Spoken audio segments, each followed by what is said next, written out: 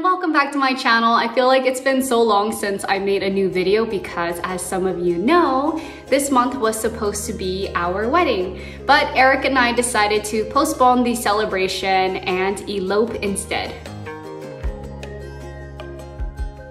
started brainstorming designs for my dress one month before and the inspiration started with the location of our elopement which was the beach. Hello, we are in the LA Fabric District and today I'm going to be shopping for my elopement dress fabric. I was looking for an embellished sequin fabric that had more texture to it instead of the sequins that just lay flat. It also needed to be on tulle so it can feel light and airy and not mesh because I wanted the tulle to be a little stiffer so the skirt could have some shape to it. Because I was so particular with the kind of fabric I wanted for my dress, it made it almost impossible to find something I liked. We walked back and forth to so many fabric stores to compare different materials and in the end I went with this crosshatch sequin fabric. First, I drafted my skirt silhouette. I wanted an A-line skirt with a small train.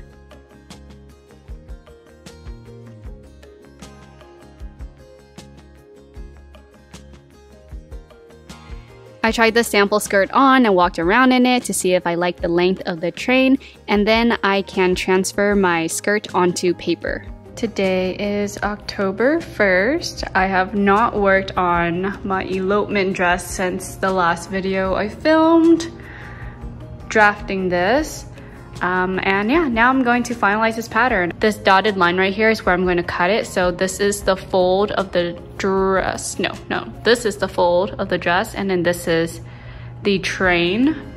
So I'm going to cut it here where the line is at. So the front can be its full piece and the back is going to be two separate pieces. After finalizing the skirt pattern, I cut out all the pieces from the fabric.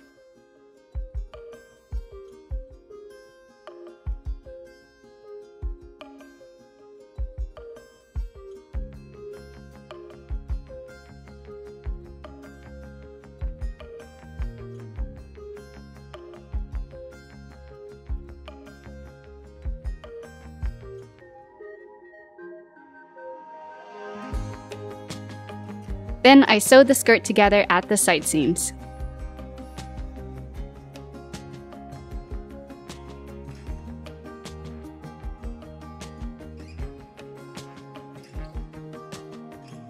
Next, it's time to draft my bodice. I decided on a deep v-neck, but nothing too plunging.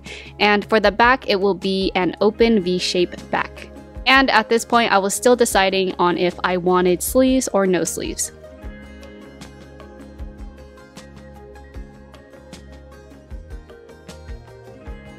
Alright, so I have my bodice pieces cut out, two back sides and two front side.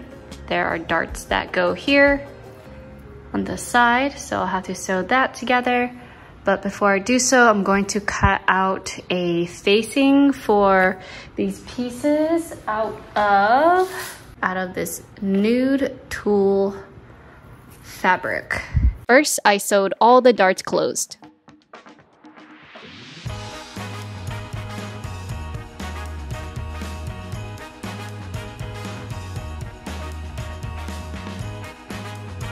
Then I can piece together the bodice by sewing the center front together and the side seams closed.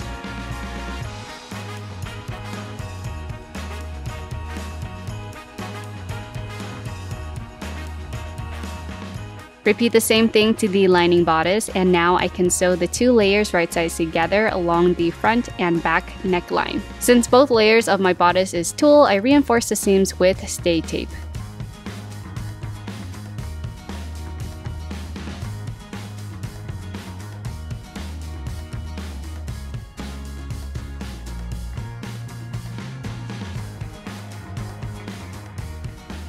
I now felt like long sleeves would be too much sparkle, so I considered adding a little cutout sleeve like this, but it really restricted my arm movement, so with the votes of my sisters and aunties, I decided on no sleeves.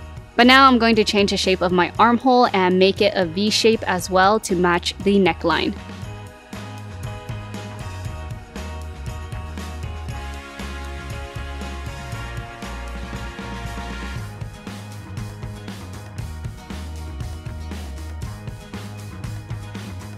Next, sew the shoulder seams closed.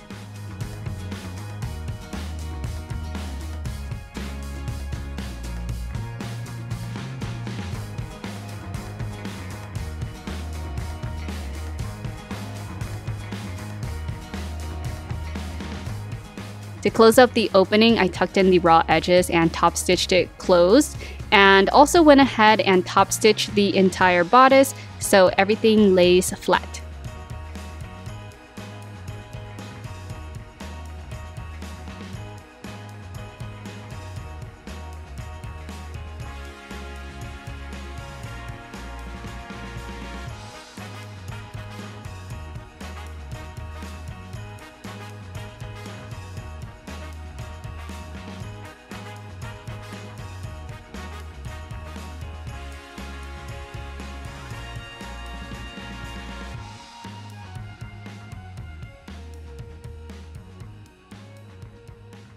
Now I can sew the bodice and skirt right sides together at the waist.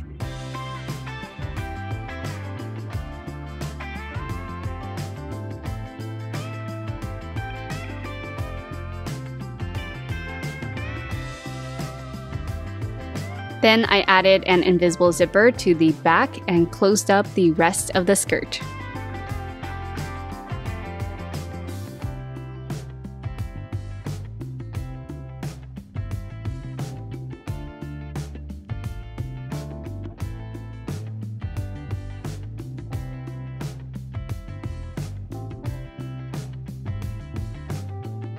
To cover the raw edge at the waist, I sewed some tan bias tape along the inside.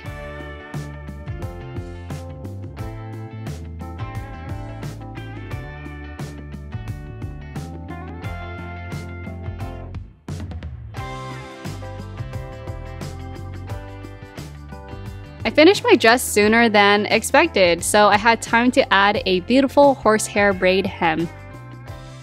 This narrow horsehair braid is so easy and quick to use. I just sewed it right sides together along the edge of the hem and then flip it over to the wrong side and sew the other side of the horsehair braid down.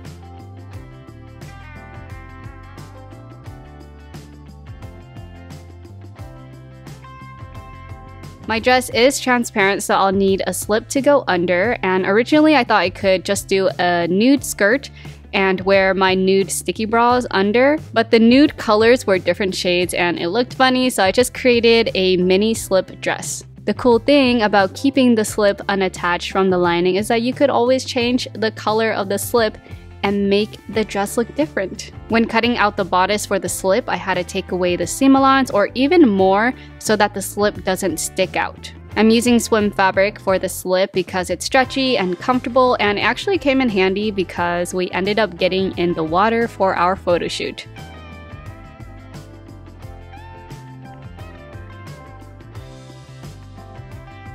Lastly, you know I had to make a matching face mask because 2020. I also made Erik a black satin face mask as well.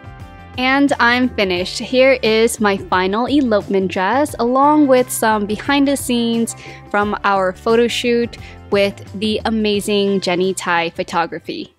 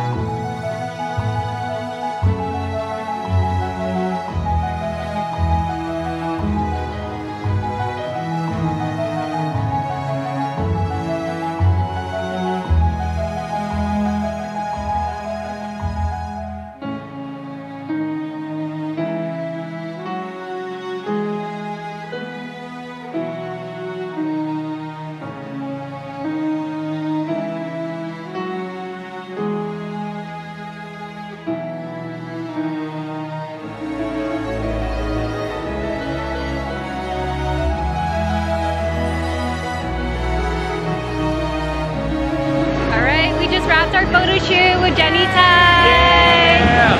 There's my sister and Alexis, my cousin Alexis. Look at the sunset. Beautiful sunset. So pretty.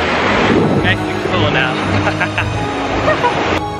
Guys so much for watching and thank you to all the congratulations wishes that we received so far. I'm so excited to see Jenny Thai's pictures that she took of us and maybe we'll do a little reaction to the photos on our second channel, The Coolirpa Show. So if you aren't subscribed already, head over there so you don't miss out on any other vlogs that we're gonna post from our elopement and I'll see you next time. Bye!